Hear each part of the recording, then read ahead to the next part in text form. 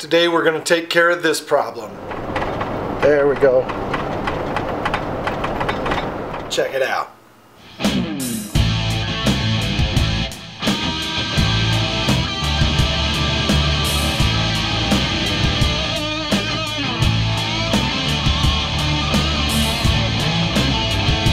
We're riding along in the Ford today and a long time ago I did a transmission fiasco video because the transmission is uh, sounded like the torque converter was going. There's kind of two different things that can uh, can make your transmission shudder, and that would be the torque converter or the uh, coils and plugs, the ignition. Uh, there's sensors in the uh, Ford engines there that uh, if you're not getting the right spark, they will not lock into overdrive, so it causes a flutter situation at certain speeds, and that tends to be right around the, uh, let's call it the 40, 50 mile an hour speed, it'll cause it to shudder. So it kind of happens when you're under acceleration, but light acceleration. So uh, I'm going to turn the camera around. Getting ready to head uphill, I'm pissing traffic off because I'm going too slow, but uh, maybe we'll get her here. There we go. And you can just really accelerate out of it and it goes away. Road does it to me all the time. I'm guessing you guys can hear that. There's the speedometer. Little accelerator. We're just on a little bit of a hill, a little bit of an incline there. Let's take a peek at what we're going to do to the truck today. We've got some Accel Super Coils. Uh, they'll claim that they provide more horsepower and spark and uh, they'll make your kids magically smarter in school and make food taste better. These are about $220, $240 compared with what Ford wants, which is about $750 for eight of these. A little dielectric grease to put on these guys as you install them. Eight new spark plugs. I know there's only four here, but we got four more in the box. We're going to need uh, a couple little tools, a spark plug wrench and a 7 millimeter wrench are going to be our main ones. You want universals and all those uh, extensions and fun stuff uh, to make this a little bit easier. The other thing that we do have is a couple cans of uh, my favorite penetrating fluid which is PB Blaster. I'm not doing a commercial for them. This stuff just happens to work really really well. We're going to crack each of the spark plugs about a quarter turn. We're going to spray it with penetrating oil and then I'm going to change the oil in the vehicle so that's how long I'm going to let it penetrate and then we're going to back those plugs back out so that we don't have one break off in the head. Uh, we're going to start right here uh, with this plug and the clips here just uh, have a little tab right there and you just push down on that tab and pull the clip back and then it's got a little 7 millimeter uh, nut or bolt sorry bolt here and you take that piece out. As these wires really only reach uh, you know so far so you don't have to worry about getting them all mixed up like you would typical spark plugs there's there's the coil there that uh, came out. I can't remember if these have the hardware, but we're to keep that with it just so we know we got everything out of the truck.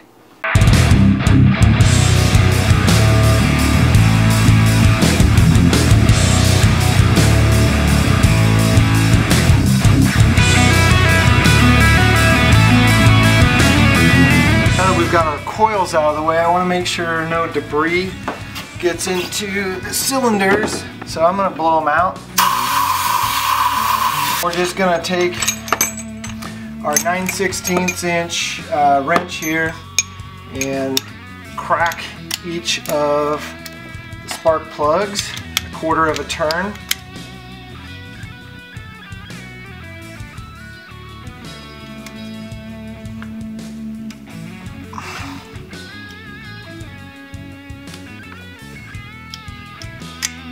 Our quarter. That's all the further we're going.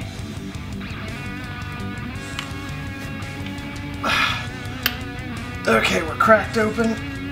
So we'll use a little uh, PB.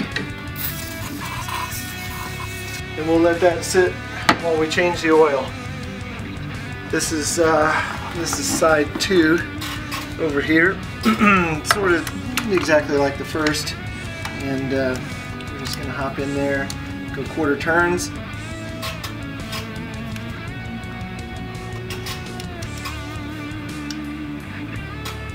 Like so.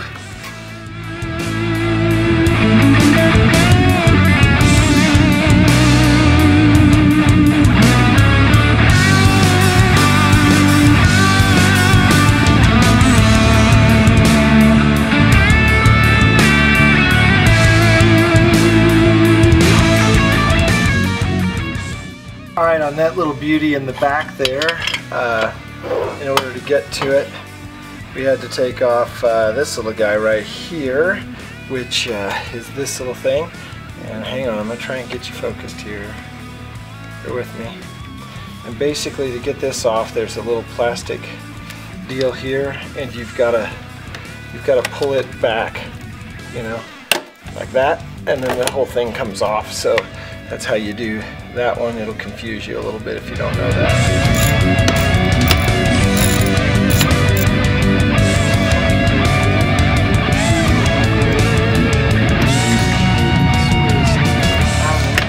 There it goes, finally. Holy crap. Uh, wow.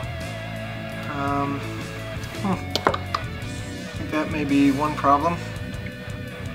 That sucks. Uh, half the spark plug is not out, so that's definitely broke off in there. So we need to somehow figure out how to get that out. That really sucks. Oh, I got something. I got the pin, uh, the electrode, whatever you want to call that.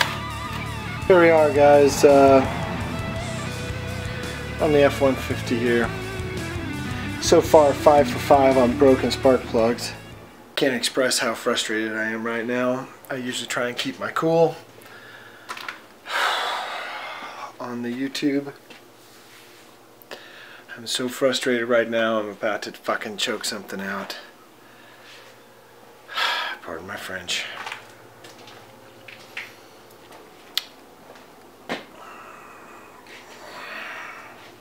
There it is, the uh, eighth plug finally came out whole and you can see the carbon buildup on the end of these.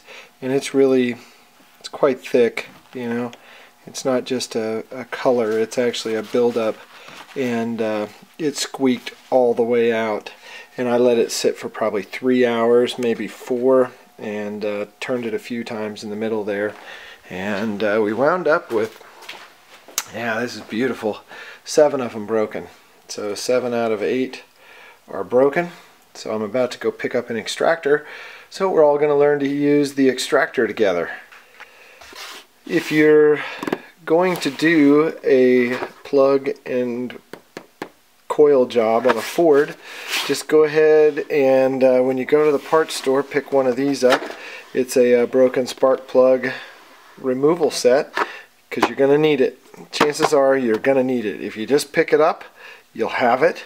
You also need the consumables that go with this. Uh, so, you, so that's plug number one uh, with our kit here.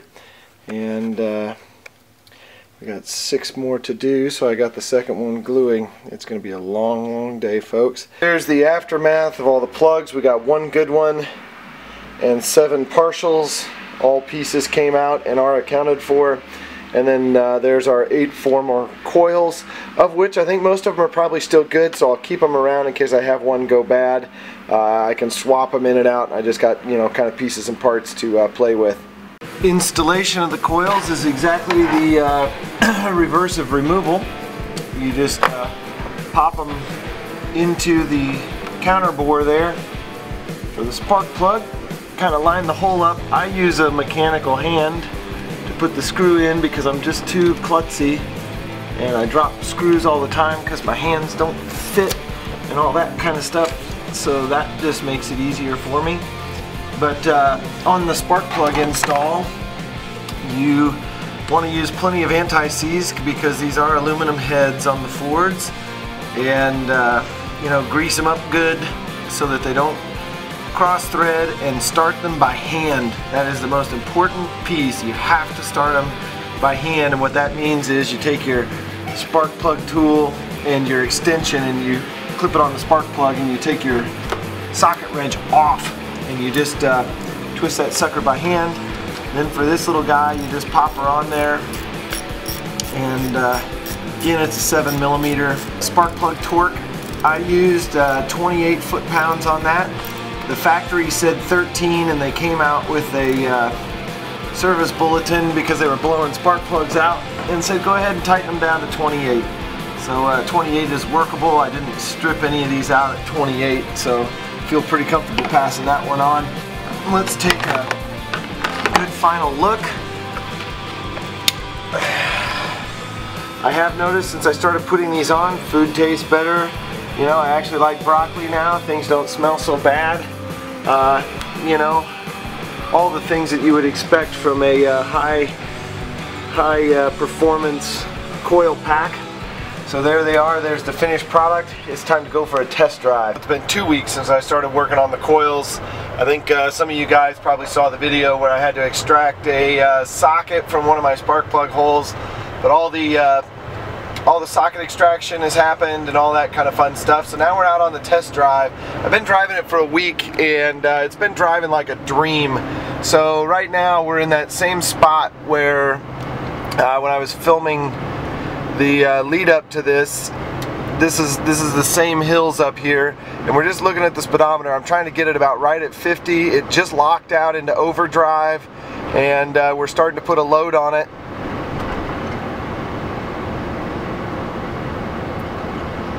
that's where it would normally shutter uh, prior to the fix. And there was no shutter there. I don't know if you guys heard all of that but when it would shutter you could hear it really well. So uh, no shutter. It's been driving freaking awesome for about a week. Um, but prior to let's see right after the repair the uh, shutter went away at 40 to 50 miles an hour that went away and it started shuttering at like 65, 70 and above. And so I couldn't exceed like 65 miles an hour. I'm not sure what was going on there. I had the codes, or I read the codes a couple times. Sorry about the backlight, guys. We'll try and sweep, sweep that around. But I read the codes a couple times, and uh, it was, you know, a misfire, an oxygen sensor, uh, something or other. There were nine codes that were getting set, and I thought, well, okay, there's one failure that's setting a whole shitload of codes and uh, basically it wound up just cleaning itself up and my guess is that all the PB Blaster and other miscellaneous oils that I put down into the cylinders or into the spark plug bores to get the spark plugs loosened up uh, probably fouled up the oxygen sensors pretty bad and uh, my guess is those oxygen sensors being fouled were controlling the fuel and air and all that kind of fun stuff uh, incorrectly. So the truck, uh, from a shuttering standpoint, is fixed. The coils and spark plugs fixed that problem. Uh, the spark plug hole that I had to uh, use epoxy to fill back in where I grinded the socket out of, uh, it's holding. I've probably got uh, 600 miles on it in the last week, something like that. So uh, I figured after about 500 miles I would know yes or no whether that was going to hold. So the epoxy is holding as a high temperature JB weld. Uh, you know, we've been going 90 miles an hour in it and all that kind of stuff, just trying to stress test it. So, problem fixed. The initial video that I did on the transmission fiasco when I went and took the valve body out and looked at the solenoids was back from December of 2012 so this problem's been nagging the shit out of me for almost two years. And uh, just trying to nickel and dime fix it. it hadn't worked. Just the wholesale all new coils all new plugs definitely was the trick to make it work. So uh, again another lesson in stick-to-itiveness. If you got something bugging you on your car don't give up don't give up, don't give up, don't give up, don't give up. Uh, there's a fix out there, and uh, whatever your skill level is right now, you can probably learn enough to fix it. So don't let your meatloaf